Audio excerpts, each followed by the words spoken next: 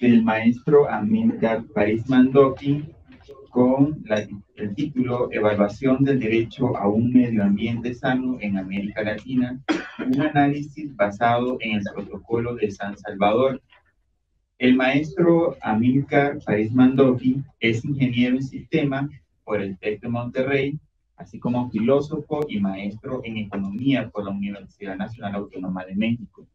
Es investigador en el programa, el programa universitario de Derechos Humanos de la Universidad Nacional Autónoma de México, donde ha publicado investigaciones de evaluación de políticas públicas de derechos económicos, sociales, culturales y ambientales, con enfoque basado en derechos humanos y uso de indicadores.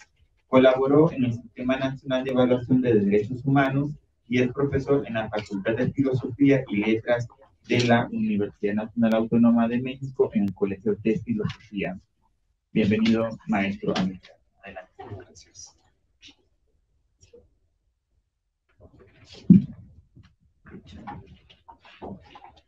Gracias. Quiero comenzar por agradecer al Centro Regional de Investigación Multidisciplinario por la invitación, así como por la organización del evento.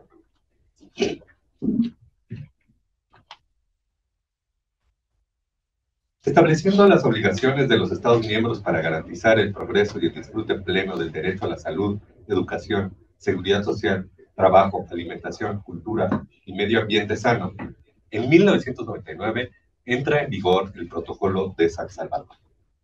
Este tratado internacional establece el compromiso de presentar informes periódicos detallados que establecen las medidas progresivas implementadas por los estados para garantizar el disfrute pleno de los derechos consagrados.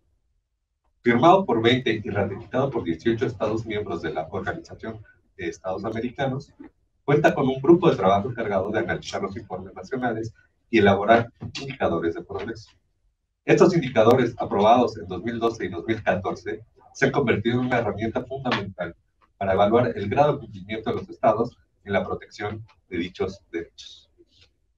En el año 2023, como parte de las actividades en el área de indicadores del Programa Universitario de Derechos Humanos de la UNAM, realizamos un estudio sobre la situación regional del derecho a un medio ambiente sano en América Latina con base en los informes presentados por los estados ante el grupo de trabajo del Protocolo de San Salvador.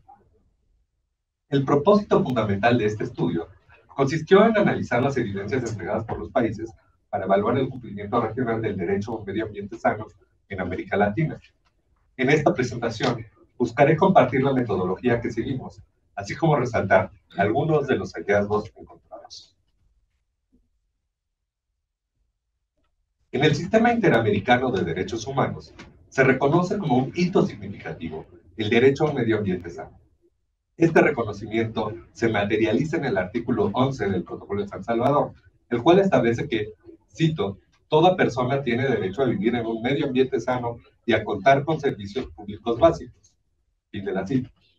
Este es un avance pionero que refleja la importancia que se ha otorgado a la protección ambiental como un componente esencial del disfrute pleno de los derechos humanos en la región. Sin embargo, a diferencia de otros derechos económicos, sociales y culturales, la precisión sobre el contenido del derecho a un medio ambiente sano no cuenta con una observación general emitida por el Comité de Derechos Económicos, Sociales y Culturales que pueda considerarse como el núcleo de estándares, ya que no se incluye en el PIDES. Esto se debe a que el reconocimiento formal de este derecho se acordó por el Consejo de Derechos Humanos de las Naciones Unidas hasta octubre de 2021 en la resolución 48.3. Ante esta situación, para la esquematización de componentes en nuestro estudio, hicimos referencia a tres documentos principales de los cuales obtuvimos principios y normas que dan marco a la investigación en torno a los derechos humanos. El primero de estos documentos son los principios marco sobre derechos humanos y el medio ambiente del Consejo de Derechos Humanos de la ONU. El segundo documento es la opinión consultiva OC 2317 de la Corte Interamericana de Derechos Humanos. Esta establece una serie de estándares y criterios para la protección del medio ambiente en el marco de derechos humanos y brinda orientación a los estados y otros actores relevantes sobre cómo cumplir con sus obligaciones en esta materia. El tercer documento corresponde a la propia metodología para el monitoreo del protocolo de San Salvador, en donde se indica que, cito, independientemente de las situaciones particulares del contexto, el ejercicio del derecho al medio ambiente sano debería guiarse por los criterios de disponibilidad, accesibilidad, sostenibilidad, aceptabilidad y adaptabilidad. Fin de las. A partir de ello, establece las normas para el, se establecen las normas para el ejercicio efectivo del derecho a un medio ambiente sano. La Asamblea General de la OEA aprobó en 2011 y 2013 la metodología de indicadores para la medición del cumplimiento del protocolo, la cual es obligatoria para los países signatarios y fue desarrollada por el Grupo de Trabajo del Protocolo de San Salvador.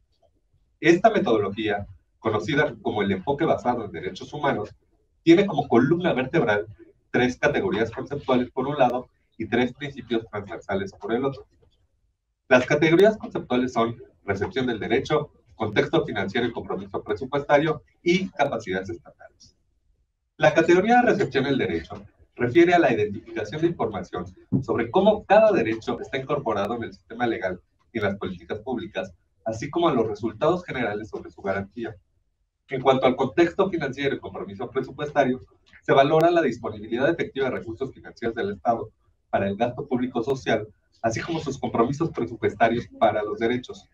En tercer lugar, las capacidades estatales describen los aspectos instrumentales y de disponibilidad de recursos dentro del aparato estatal para la atención de los derechos. Adicionalmente a estas tres categorías conceptuales, se tienen los ejes transversales. El primero es el de igualdad y no discriminación.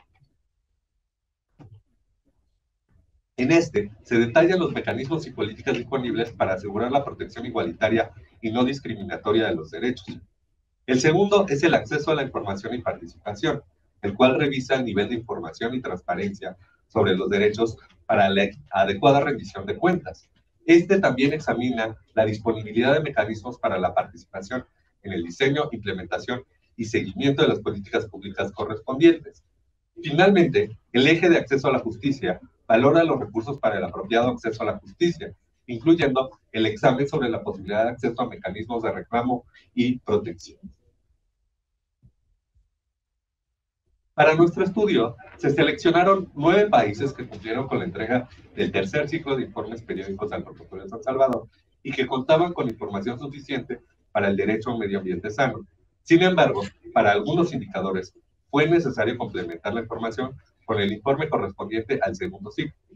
El cuadro muestra estos países, así como la fecha en la que se entregaron los respectivos informes. Para el monitoreo del derecho a un medio ambiente sano, la metodología considera un total de 105 indicadores, 53 cualitativos y 52 cuantitativos. Se realizó un chequeo de las respuestas de cada país por indicador, lo que permitió evaluar la capacidad de los países para responder a cada uno de ellos. Este análisis detallado identificó la viabilidad de respuesta a los indicadores o las dificultades que se presentan en cada uno. El gráfico muestra estos niveles de respuesta de cada país. Se destaca que para indicadores cualitativos, solo uno de los países no superó el 80% de entrega. Por lo que respecta a los indicadores cuantitativos, los países con respuesta superior al 60% fueron Colombia, Ecuador, El Salvador, México y Perú. Se identificó un alcance satisfactorio de respuestas que llegó al 79% respecto de la información cualitativa, en tanto que a nivel cuantitativo se alcanzó un 60%. Este grado de respuesta se considera suficiente para derivar conclusiones con cierto alcance regional, las cuales, como se comentó, se refuerzan mediante la incorporación de datos complementarios de fuentes internacionales.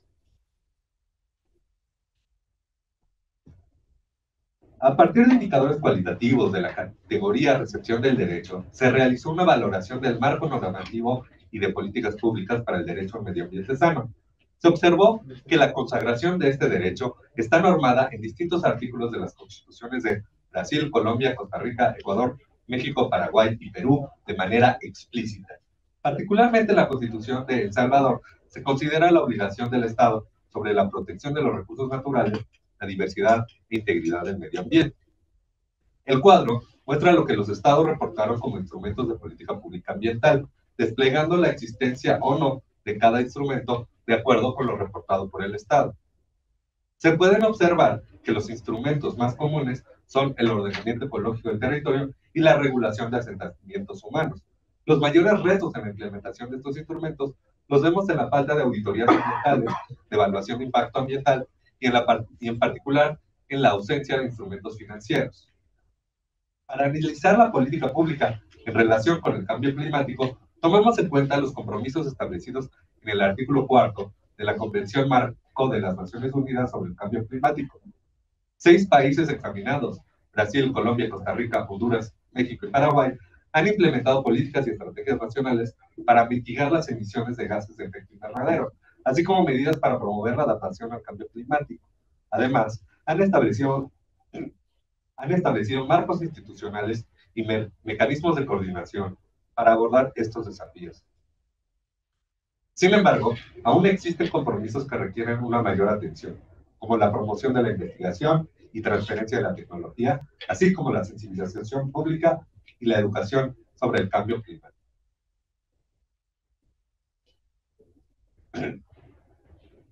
En el documento publicado por el programa se puede encontrar el análisis hecho respecto a políticas de biodiversidad, protección de la calidad del aire, educación ambiental, conservación de fuentes hídricas, entre otros aspectos ambientales. El esfuerzo que cada Estado realiza para cumplir sus obligaciones encaminadas a garantizar los derechos humanos de la población requiere de acciones concretas para su atención institucional, así como de la erogación de los recursos financieros específicos. Por ello, el enfoque basado en derechos humanos busca identificar las capacidades institucionales establecidas en los países. En este sentido, es imperativo analizar el porcentaje del presupuesto nacional asignado a las instituciones públicas de medio ambiente, en este gráfico podemos observar la asignación reportada de estos recursos y obtener una visión general de la inversión realizada por cada país en esta área clave. En el periodo analizado, Brasil mantiene una asignación constante. Sin embargo, Colombia y México experimentan variaciones significativas. En ambos casos se observa una disminución neta del presupuesto. El Salvador también muestra fluctuaciones, aunque en valores más bajos. En cuanto a la institucionalidad en el ámbito de la conservación, en el caso de Colombia, se destaca que tanto entidades regionales como una entidad a nivel nacional asumen responsabilidades en la conservación. Por otro lado, Honduras cuenta con entidades específicas dedicadas a la conservación, el turismo y la pesca. Brasil, Costa Rica y México disponen de entidades exclusivas encargadas de la conservación, mientras que para Ecuador y El Salvador la responsabilidad recae en un área dentro de su respectiva institución ambiental. En Perú no se informa sobre una institución específica responsable de la conservación. Por el lado de políticas públicas o programas reportados, Colombia, Costa Rica y México se centran en generar y compartir información científica confiable sobre el estado de conservación de la vida silvestre y la biodiversidad. Honduras se enfoca en la implementación de política forestal, la gestión de áreas naturales protegidas y la protección de cuencas, además de contar con programas relacionados con turismo, pesca y patrimonio cultural. Perú se enfoca en la elaboración de planes maestros para áreas naturales protegidas y estudia el establecimiento de nuevas áreas. Por último, Brasil se enfoca en evaluar, en evaluar el cumplimiento de la política pública, subsidiar la información y la decisión técnica, coordinar y evaluar unidades de conservación y promover la rendición de cuentas y la transparencia. La plena salvaguardia del derecho a un medio ambiente saludable un medio ambiente sano, exige la existencia de mecanismos y procedimientos encaminados a la observancia de los principios transversales inherentes al enfoque basado en los derechos humanos. Esta evaluación, con frecuencia, se echa en falta en los análisis generales de medio ambiente y sostenibilidad, si bien se toma de vital importancia al incorporar el enfoque basado en derechos humanos. No podemos hablar de igualdad y no discriminación en el derecho a medio ambiente sano sin mencionar el Acuerdo 169 de la OIT. Este establece disposiciones sobre los derechos de los pueblos indígenas y tribales y ha sido incorporado en la legislación de varios países de la región. Colombia tiene un decreto y una sentencia que proporcionan lineamientos para el desarrollo del proceso consultivo. En Costa Rica se ha establecido, se ha establecido un mecanismo general de consulta mediante un decreto supervisado por su Ministerio de Justicia y Paz. En Ecuador, esta consulta tiene el reconocimiento constitucional como derecho. En Honduras, la legislación relevante permite a las comunidades manifestarse a través de cabildos abiertos. En México se han desarrollado protocolos de actuación para los casos que involucran los derechos de personas, comunidades y pueblos indígenas, así como la, para la implementación de consultas. Respecto al acceso a la información y la participación, todos los países examinados consagran a través de sus respectivas constituciones el derecho a la información pública. Sin embargo, únicamente, únicamente Colombia, Costa Rica, México, Paraguay y Perú cuentan con disposiciones explícitas en su marco legislativo que se refieren específicamente al acceso a la información pública en el ámbito ambiental. También todos los países reportan un portal virtual público sobre estadísticas ambientales. En el contexto del acceso a la justicia para el derecho a medio ambiente sano, se examinan nueve indicadores que revisten relevancia. Entre ellos, si bien se dispone de dos indicadores distintos para analizar los recursos de prevención constitucional y judicial de acciones que vulneran el medio ambiente, su diferenciación no resulta tan evidente, por lo que se observan numerosas coincidencias en la información reportada. Los estados que informan sobre estos indicadores cuentan con recursos judiciales para detener acciones que pueden comprometer el derecho a un medio ambiente saludable, un, medio ambiente sano, tales como el recurso de amparo, la acción de protección, la acción de tutela o el autodemandado. Además, Colombia, Costa Rica, Ecuador y Honduras informan tener medidas cautelares de, o de protección, mientras que Brasil y Costa Rica reportan el mecanismo de acción popular que permite a cualquier ciudadano presentar una demanda en defensa de intereses colectivos o difusos. Todos estos mecanismos se deben traducir en efectos en el medio ambiente. El gráfico muestra cómo tres de los indicadores utilizados en el estudio se comportan a nivel regional en América Latina. La reducción en concentraciones de partículas suspendidas apunta a la capacidad de las naciones para implementar regulaciones y medidas de control que generen mejoras en la calidad del aire. No obstante, las tendencias negativas en la reducción de la superficie forestal y de la degradación del suelo resaltan la necesidad de abordar desafíos más amplios como la presión demográfica, la expansión agrícola y la urbanización descontrolada. La relación entre la explotación de recursos naturales y la preservación de un entorno ambiental saludable ha emergido como un área crítica de atención en el estudio de la intersección entre la economía y la sostenibilidad. Más allá de la variabilidad entre los países, en este gráfico se puede observar una disminución gradual en la proporción que ocupan estos ingresos en el Producto Interno Bruto. Esta tendencia podría sugerir un esfuerzo por parte de estos países para reducir su dependencia económica de la explotación de recursos naturales y promover un desarrollo más sostenible. Además, esta disminución también plantea interrogantes sobre cómo el progreso económico puede influir en la utilización de los recursos naturales y la presión ambiental asociada. La intersección entre la defensa de los derechos humanos y el derecho a un medio ambiente sano plantea un panorama de desafíos y responsabilidades entrelazados. La creciente vulnerabilidad y los riesgos a los que se enfrentan las personas defensoras de derechos humanos en el ejercicio de su labor no solo demandan acciones concretas por parte de los estados, sino también una evaluación constante de la eficacia de las medidas de protección existentes. En virtud de ello, se hace necesario llevar a cabo el seguimiento, entre otros aspectos, el número de defensoras y defensores ambientales que se encuentran bajo tutela, bajo tutela estatal. En el gráfico se observa que desafortunadamente menos de la mitad de los países del análisis reportaron este indicador, dado que este valor absoluto no guarda proporción con la población de cada estado y con su actividad económica, sería necesario además contar con información de contexto más amplia para la interpretación apropiada del indicador. Mediante el empleo de estas herramientas, se puede concluir que, si bien el derecho al medio ambiente sano ha experimentado un notable progreso en términos normativos en la región, existen áreas que demandan una atención urgente. Entre ellas, la formulación de políticas públicas destinadas a la supervisión de riesgos relacionados con el impacto ambiental y la evaluación de proyectos productivos desde una perspectiva ambiental. En cuanto a elementos transversales vinculados a este derecho, es urgente reconocer los saberes tradicionales relacionados con el medio ambiente. Es, es esencial adoptar un enfoque basado en los derechos humanos en los programas de educación y difusión ambientales ya existentes y resulta de suma importancia la creación de tribunales ambientales especializados que puedan abordar de manera efectiva las cuestiones vinculadas a un medio ambiente y los derechos ambientales. Destaca la urgente necesidad de realizar una transición económica hacia modelos más sostenibles y equitativos. La considerable variabilidad observada en los valores de los indicadores de impacto entre los países pone de manifiesto la necesidad de emprender un seguimiento individualizado de cada estado.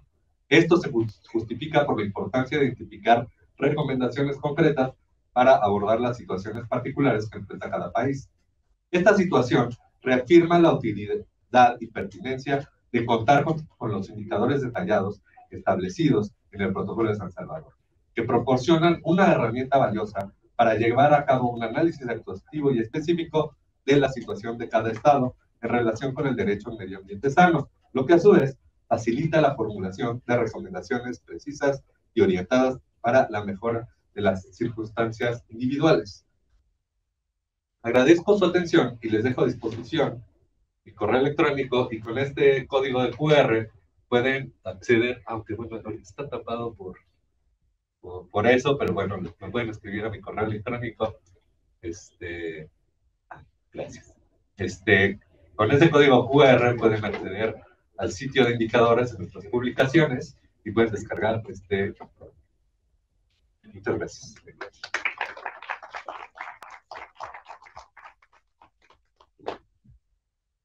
Eh, muchas gracias, maestro Amílcar.